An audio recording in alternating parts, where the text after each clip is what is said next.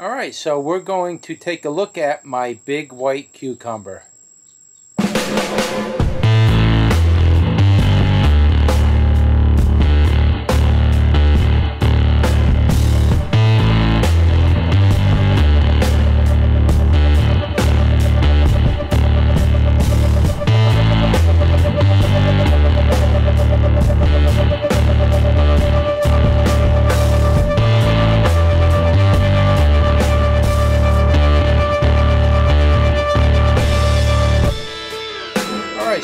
Do a review on the White Wonder cucumber.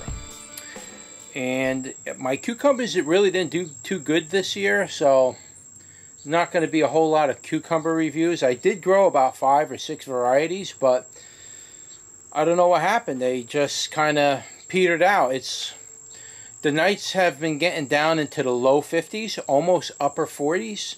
So because of that reason, I think it's affected my cucumbers and my peppers and tomatoes quite a bit. So let's take a look at the white cucumber while it's on the vine. I'm going to pick it and then we'll bring it in and cut it open, take a look at it. And that's basically it. That'll be a short review. So let's take a look. Alright, so here it is on the vine, as you can see. This is the only one that came off this vine. Maybe after I pick it, it'll uh, pick up or something. But it's a pretty good sized cucumber. This has actually been sitting on here for quite a while. So it's, it's very firm. So it's the seeds are probably going to be bitter by now. But I want the seeds to develop enough so I can save them. And I got good seed for next year. So, oh, there's spines all over this thing. Let's pop her off. By the way, that's the way I take my cucumbers off when I pull them. You just grab the cucumber like that, and then you just push the stem off. Yeah, this is the White Wonder cucumber. It's quite a beautiful cucumber. This thing is literally ghost white.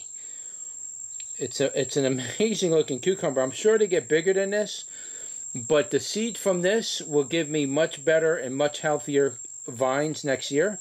So I should do pretty good but it's very hard. This is one hard white cucumber. Let's bring this thing inside and we'll cut it open and we'll take a look at it and we'll see what it tastes like.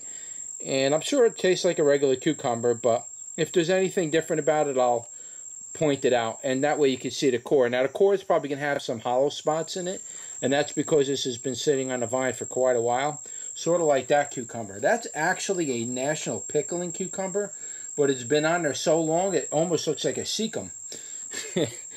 so yeah, I want to get seeds from these. So I'm I only got a few cucumbers that came off them. So for me, it's not worth picking them. I'd rather leave them on there and let those seeds mature for next year because these these cucumber vines were basically a fail this year. So you know, and as you can see, these are my, that's the national pickling, but this, it's a standard cucumber leaf. I got a little bit of a disease going here, so but anyway, let's bring it in and cut it open take a look at it. All right, so I'll see you on the inside. All right, so here we are. I'm making my salad, and I'm getting ready to cut this open and give you a taste test on this cucumber, and I'll taste it with a slice of it. So I'll be right back.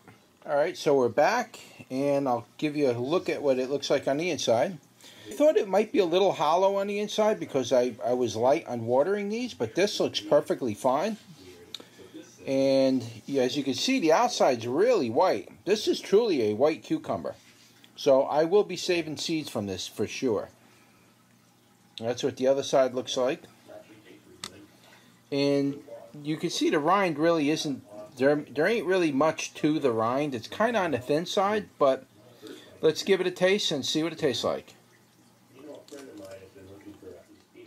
So the skins are a little tough on it. That might be because I let this thing sit on that vine for a long time. That's been sitting out there for a while.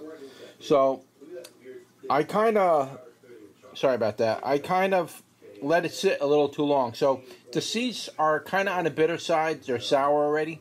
But the rind part is fine. If you just cut the seeds out of it, you ain't going to have a problem.